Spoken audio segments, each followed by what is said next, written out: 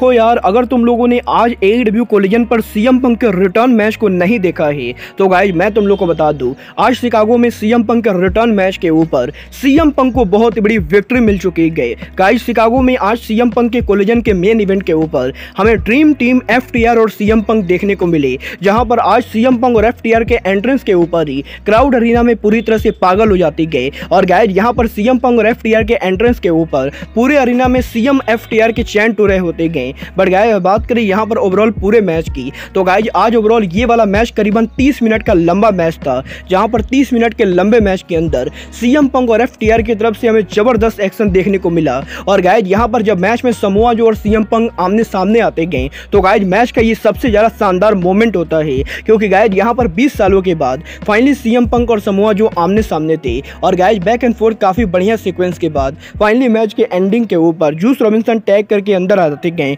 जहाँ पर F T R Juice Robinson पर उनका फिनिशर लगाती गए तो गाइज़ वहीं सीएम पंक उनका finisher G T S hit करते गए। और गाइज़ पंक के जी टी एस के साथ शिकागो में यूनाइटेड सेंटर के अंदर सीएम पंक को बड़ी विक्ट्री मिल जाती गई। और गायज ए के कोलिजन शो के ऊपर सीएम पंक फाइनली उनका रिटर्न मैच जीत चुके गए। वेल गाइज़ देखना बहुत ज़्यादा दिलचस्प होगा कि कोलिजन पर पंक के रिटर्न होने के बाद अब अगले हफ़्ते सीएम पंक कोलिजन पर क्या करते गए।